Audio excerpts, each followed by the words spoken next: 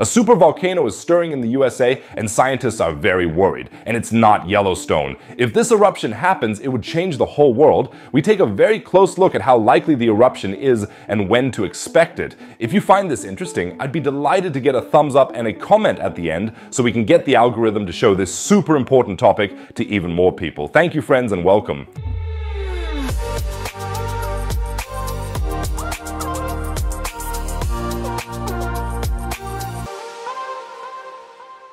A restless rumbling beneath the earth, seismic activity in a region that is slowly deforming. Are these the harbingers of an imminent eruption of a supervolcano? We're not talking about the well-known Yellowstone, but another American supervolcano, the Long Valley Caldera in Eastern California. Have you never heard of it? Then it's about time because this supervolcano is highly active and has what it takes to plunge the world into chaos.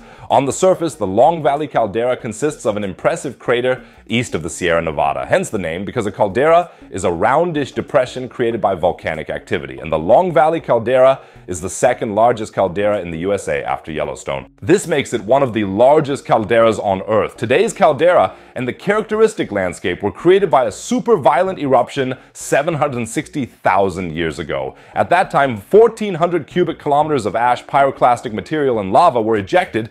This resulted in a huge ash deposit that covered large parts of eastern California and reached as far as Nebraska. I mean, look at that area. This eruption created a depression that is 540 square kilometers in size and is 300 to 1,000 meters deeper than the surrounding region. You can just imagine how apocalyptic this eruption must have been. Well, now some of you may be saying, so what? That was hundreds of thousands of years ago. Who cares? Unfortunately, it looks like another eruption could be imminent. The US Geological Survey operates its own observatory, the Long Valley Observatory, LVO for short, to monitor the activity of the caldera. It was long assumed that the supervolcano had taken a long rest and that there was no real danger. But as in every disaster movie, this was of course deceptive. Geological conditions have been changing for decades. Seismic activity has gradually increased, and in recent years, the whole thing has taken on worrying proportions. Geophysicist Ashton Flinders from the US Geological Survey says, Our data suggests that there have been significant magma inflows since the last eruptions 76,000 years ago. This means that the supervolcano may not be as inactive as previously thought. And I don't know about you, but that worries me a little bit, because having just heard how massive the eruption of 760,000 years ago was, it's clear that another eruption of that caliber would have a global impact due to the release of ash. The southwest of the USA would of course be affected the most, but air traffic would also collapse globally, and there could even be climatic changes. Geophysicist Birger Gottfried Luhr from the German Research Center for Geosciences agrees and says, if the eruption is of a similar magnitude as 760,000 years ago, we must expect global effects. So it is high time to get to the bottom of the increased activity of recent years. Is this the sign of an eruption or could there be other causes? A research team led by the aforementioned geophysicist Ashton Flinders has taken a very close look at this. I have of course linked a published paper below the video. They see two possible processes inside the volcano as potential causes for the uplift of the Earth's surface in the recent past. Possibility 1, the liquid magma core is approaching complete hardening, which would be accompanied by an expansion of the colder rock and thus raise the Earth's surface. So that would be the optimistic version. According to this, we are now experiencing the slow calming of the volcano, and an eruption would be unlikely. Unfortunately, there is then a second possibility. Pressure is building up inside due to gas and liquid magma that cannot escape. This pressure could be released in an eruption. So which option is it? Option one, please, please possibility one. Well, it's possibility two. No! God! No! God, please, no! No! No!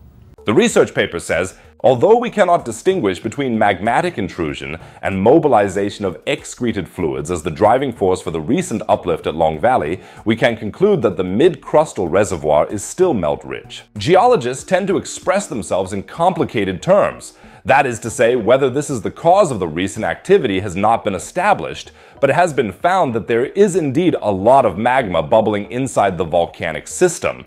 There is no sign of inactivity or dormant phase because it is still going on, and here it comes. We estimate that the reservoir currently contains enough melt to support another supervolcanic eruption comparable in size to the caldera forming eruption 76,000 years ago. So the volcano is still active, contains a lot of magma, and the mass of this volcanic material is also large enough to cause an apocalyptic eruption. These are the kind of results you want in your research work. Of course, this does not mean that a major eruption is just around the corner. In order to better assess the Denga, many other factors would have to be investigated in more detail. Further drilling should be carried out to find out whether the molten magma mass is collected in a large single reservoir or whether it is spread over several small reservoirs.